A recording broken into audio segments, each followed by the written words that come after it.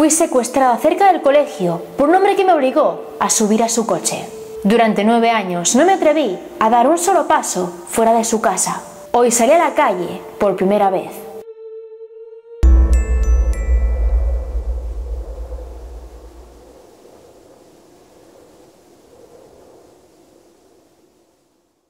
Muy buenas a todos y bienvenidos un día más a mi aterradora biblioteca. Por si no me conoces me presento, mi nombre es de Caneflis Flisher y cada semana, si todo va bien, traigo a este canal los misterios más impactantes de la historia. Hoy hace un calor de mil demonios, así que antes de empezar ya aviso, eh, se va a poner la cara brillosa, eh, chorreando, me a salir ricitos por aquí abajo, pero bueno, no pasa nada, ¿vale? No pasa nada. Soy consciente de que llegará un punto que daré muchísimo asco, ¿vale? No hace falta que lo digáis en los comentarios, yo ya lo sé. Dicho esto, en el día presente traigo un caso de desaparición, un caso acontecido en Japón en los años 90. Así que si veo que estos temas os gustan mucho, pues puede que traiga más casos japoneses próximamente. Dicho esto, si os el tema de hoy, ya sabéis, apagad todas las luces, cerrad todas las puertas y poneos cómodos, porque aquí empieza el caso de Fusako Sano. Y bueno, y así más, empezamos.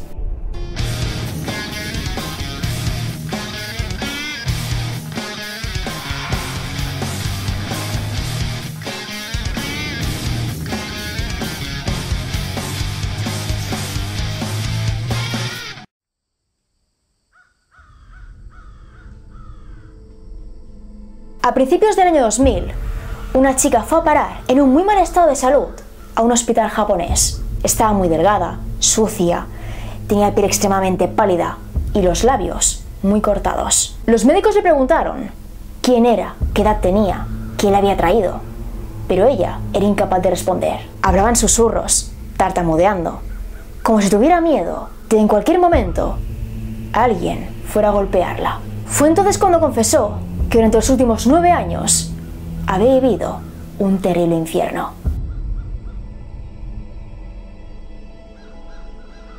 Este caso inicia con un hombre de 28 años llamado Nobuyuki Sato. De su vida personal sabemos muy poco, por lo que existen dos versiones. La primera versión dice que este hombre siempre fue un tipo normal, que era estudioso, que era amable, respetuoso y que incluso fue a la universidad. Pero cuando su padre murió, cambió para siempre. Y la segunda versión dice que nunca fue un hombre de provecho, que era conflictivo, problemático, que no estudiaba y que directamente no quería trabajar. Esta versión dice que su padre ejercía la violencia contra él y contra su madre, y cuando este falleció, Nobuyuki ocupó su lugar.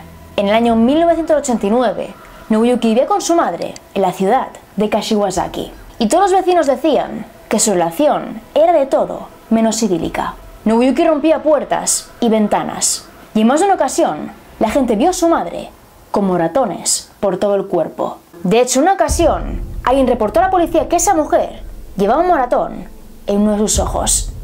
Pero cabe decir que nunca nadie hizo nada. Vieron a la mujer llorar, gritar, la habían llena de heridas, pero nunca nadie quiso defenderla. En cierto momento Nobuyuki se cansó de golpear a su madre y decidió buscar una nueva víctima fuera de casa. Es ahí cuando el 13 de junio del 89 intentó secuestrar a punta de navaja a una muchacha. Lamentablemente para él, hubo varios testigos y la policía rápidamente pudo detenerle. El 19 de septiembre de ese mismo año, Nobuyuki fue a prisión. Pero como supuestamente no tenía antecedentes, estuvo unos cuantos meses entre rejas y después quedó en libertad.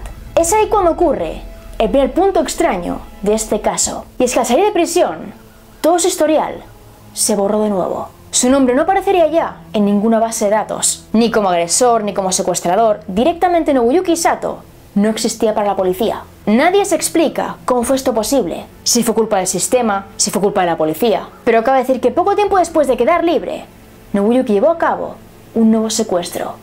Y en esta ocasión sí salió bien. Una vez más, hay dos versiones. La primera dice que Nobuyuki eligió a su víctima de forma aleatoria que simplemente la vio por la calle y la secuestró. Pero la segunda dice que lo tenía más que planeado, que sabía quién secuestrar, cuándo hacerlo y cómo. Y esa víctima fue una niña de 9 años llamada Fusako Sano.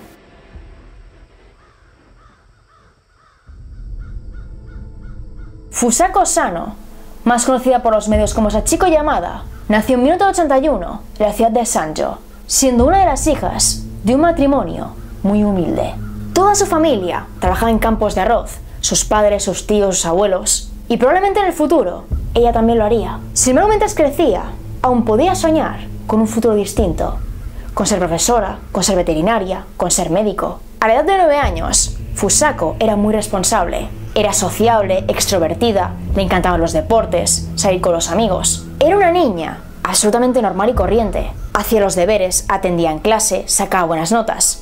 Y además todos los días seguía la misma rutina. Se levantaba temprano, desayunaba, iba sola al colegio, atendía en clase y después volvía a casa, merendaba, hacía los deberes y se iba al campo con sus padres. Todos los días hacía la misma rutina y todos los días volvía a casa por las mismas calles. Sin embargo, el 13 de noviembre de 1990, algo extraño pasó. El matrimonio sano estaba en el campo trabajando, cuando de pronto se dio cuenta de que su hija no llegaba. Pasaron los minutos, las horas, y Fusako no estaba allí con ellos. Fusako era muy responsable y nunca llegaba tarde a ninguna parte. Así que sus padres lo dejaron todo, fueron a la comisaría y denunciaron su desaparición. Es ahí cuando nos encontramos con el mismo problema de siempre.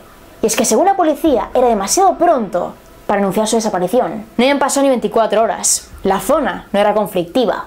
Y los secuestros de niños no eran muy normales. Pero aún así los agentes barajaron las siguientes hipótesis. La primera opción era que la niña se hubiera fugado. Los niños de entre 9 y 10 años, a veces, tienden a fugarse. Se hacen la mochila, se hacen un par de bocadillos y se van de casa unas horas. Sin embargo, Fusako no era así. Le gustaba su vida, su colegio, sus amigos. Le gustaba estar en el campo. Así que no tiene ningún sentido que de la noche a la mañana quisiera fugarse. La segunda opción es que la niña hubiera sido secuestrada.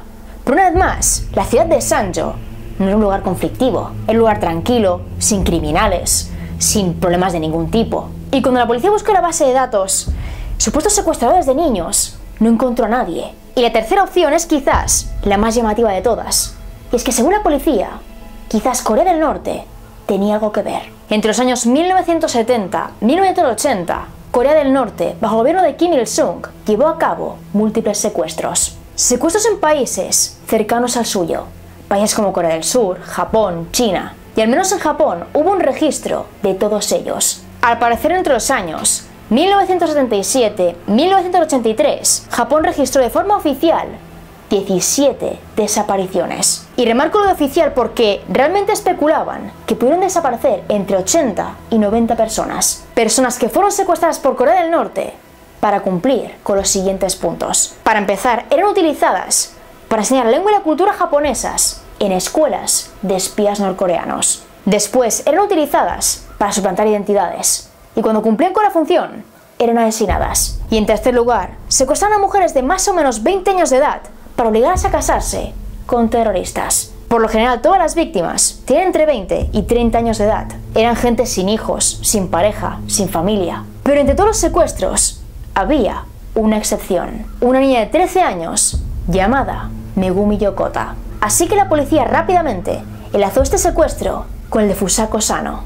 Y dieron por hecho que Fusako había sido secuestrada por Corea del Norte. Quizás alguien importante quiso casarse con ella. Quizás la querían como espía. O quizás querían meterla en adopciones ilegales. Sea como sea, si Corea del Norte estaba metida en esto, Fusako nunca volvería a casa. Dan por hecho que la niña moriría, que ya está en un barco, que está en alta mar, que quizás ya estaba en Corea del Norte. Así que le dijeron a la familia que no había nada que hacer.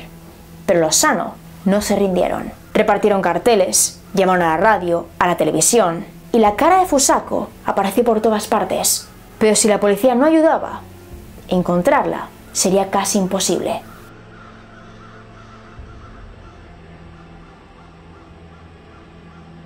¿Qué le ocurrió exactamente a Fusako? Os preguntaréis. Y probablemente algunos ya lo habréis imaginado. O al menos una parte. Así que a partir de este punto os daré todos los detalles. El día 13 de noviembre de 1990, Nobuyuki Sato da vueltas con el coche por la ciudad de Sanjo. Nadie sabe exactamente qué hacía allí, si buscaba algo, si era de pura casualidad. Pero sea como sea, le llamó la atención una niña de 9 años que volvía a casa sola. Así que el hombre paró el coche junto a ella, bajó y a punta de navaja la obligó a meterse en el maletero. Esa niña, obviamente, era Fusako Sano, y presa del miedo, obedeció a este hombre. Nobuyuki condujo 55 kilómetros desde Sanjo a Kashiwazaki, y una vez allí, metió a la niña en su cuarto, ubicado en la segunda planta de la casa, y dio comienzo a toda la pesadilla. Ató a la niña de manos y pies con cinta aislante y la golpeó una y otra vez, exigiéndole que se callara. Si lloraba, si gritaba, si hablaba, si hacía cualquier cosa, Nobuyuki la golpeaba. La golpeó con objetos, con sus manos y en algunas ocasiones le daba descargas eléctricas con un taser. Así que la pequeña no le quedó otra que obedecer sin rechistar. Durante varias semanas el castigo fue ese. Golpes, amenazas, insultos. Pero en cierto momento, Nobuyuki agarra cinta aislante y traza un cuadro en el suelo donde le pide a la niña que se quede quieta. Las 24 horas del día, Fusako debe quedarse quieta dentro de un cuadrado. Un minúsculo cuadrado ubicado en un minúsculo cuarto. Sentada, en silencio, sin hablar, sin gesticular. Tenía que actuar como si fuera de piedra, porque si no su agresor la golpeaba hasta cansarse. Fusako llegó a tal punto en el que tuvo tantísimo miedo que la puerta del cuarto podía estar abierta y ella ni siquiera intentaba escapar. Es ahí cuando Nobuyuki empieza a ser un poco generoso con esta pequeña. Una vez que la niña pierde la voluntad, él empieza a alimentarla. Le da de comer entre una y tres veces al día. En algunas ocasiones, comida de microondas y en otras, comida casera. Comida que la madre de este hombre preparaba en la planta inferior. En segundo lugar, está el privilegio de la higiene. Ducharse, lavarse los dientes, orinar. Todo eso eran privilegios que Fusako únicamente podía permitirse y se portaba bien. En tercer lugar, está la vestimenta. Y es que al parecer Nobuyuki compartía ropa con Fusako Sano. A medida que la niña crecía, él le daba su ropa, le ponía sus camisetas, sus pantalones y le cortaba el pelo como si fuera un chico. Y en cuarto lugar, está el contacto con el exterior. Fusako no tenía permitido salir a la calle. No podía dar paseos, ir a comprar, mirar las estrellas. Pero sin embargo, cuanto mejor se portaba, más cerca estaba de poder hacerlo. Tras seis meses de secuestro, Nobuyuki le permitió escuchar la radio. Pero eso sí, con el volumen muy bajo y dentro del cuadrado. Tras un año de cautiverio, Nobuyuki le permitió bajar a la planta inferior para ver la televisión. Pero la pequeña únicamente podía ver carreras de caballos, ya que su misión era grabarlas todas. Colocar una cinta, grabar toda la carrera. Y si grababa mal o directamente no grababa nada, era sometida a tremendas golpizas.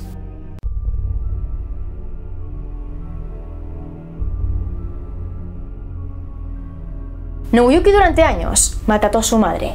La humilló, la amenazó, la golpeó y en cierto momento secuestró a Fusako para hacerle lo mismo a otra persona. Pero aún así su ira era insaciable. Así que la mujer, en 1996, seis años después del secuestro de Fusako, llamó al centro de salud más cercano para denunciar lo que estaba viviendo. Dijo que su hijo la estaba golpeando, que la maltrataba, que le hacía la vida imposible y pidió por favor que enviasen a alguien, a la policía, a un trabajador social, pero lamentablemente nadie la escuchó. Así que la mujer se resignó durante cuatro años. Cuatro años sufriendo lo mismo de siempre, golpes, humillaciones y en cierto momento su hijo se quedó sin trabajo. Así que la violencia fue en aumento. En todo ese tiempo, según ella, Nobuyuki hizo cosas muy extrañas. Le hizo comprar más comida de lo normal, le hizo comprar en seres de higiene femenina. Y otra cosa muy extraña es que le impidió subir a la segunda planta de la casa. Si intentaba subir, aunque solo fuera para limpiar, Nobuyuki la golpeaba. Así que la mujer, harta de todo esto, el 12 de enero del año 2000, volvió a llamar al centro de salud. Repitió lo mismo de siempre, que su hijo la golpeaba, que la maltrataba, que hacía que su vida fuera un infierno. Pero una vez más, nadie quiso escucharla. Así que el día 19 de aquel mismo mes, volvió a llamar. Y en esta ocasión sí fue escuchada, ya que el día 28 dos trabajadores sociales llamaron a la puerta de su casa. Estos hombres caminaron por la planta inferior, hablaron con la mujer, vieron sus heridas, sus moratones, así que decidieron subir a la segunda planta. Y fue entonces cuando Nobuyuki perdió los nervios. Golpeó a los hombres, los empujó, les amenazó. Así que estos llamaron inmediatamente a la policía. Cuando los agentes llegaron, se fueron rápidamente a Nobuyuki a un centro psiquiátrico y automáticamente registraron toda la casa. Y es ahí cuando encontraron a una chica de 19 años que decía llamarse Fusako Sano. La joven estaba muy delgada, sucia y vestida de hombre. Y además estaba tan débil que ni siquiera podía caminar o hablar. Así que inmediatamente la enviaron a un hospital. Y una vez allí, declaró lo siguiente. Fui secuestrada cerca del colegio por un hombre que me obligó a subir a su coche. Durante nueve años no me atreví a dar un solo paso fuera de su casa. Hoy salí a la calle por primera vez. Tras la confesión de Fusako, Nobuyuki Sato fue enviado a prisión.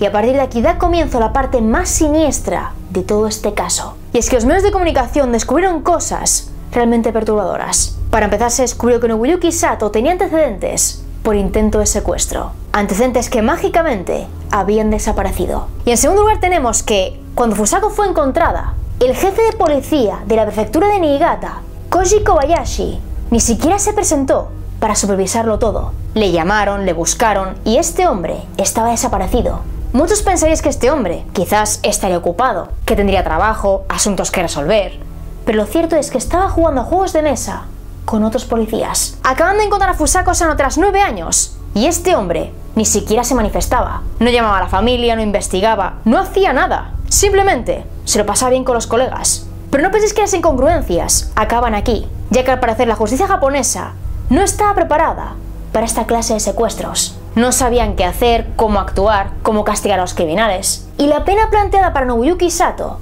fue ridícula. Sobre él pesaron los cargos de agresión, robo de ropa interior y secuestro. Y él para defenderse, el 23 de mayo del año 2000, alegó enajenación mental, lo cual hizo que durante un año entero el juicio fuera suspendido. El día 6 de septiembre del año 2001, los psiquiatras consideraron que Nobuyuki Sato era mentalmente apto, así que el juicio se reanudó. Y por increíble que parezca, únicamente fue condenado a pasar 14 años entre rejas. 14 años por secuestrar durante 9 a una chica.